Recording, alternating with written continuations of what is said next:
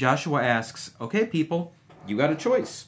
You going to worship the real God or are you going to worship other gods? And I love the people's response.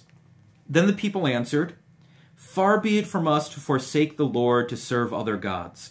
It was the Lord our God himself who brought us and our fathers up out of Egypt from the land of slavery and performed those great signs before our eyes.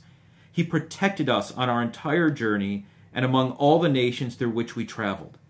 And the Lord drove out before us all the nations, including the Amorites who lived in the land.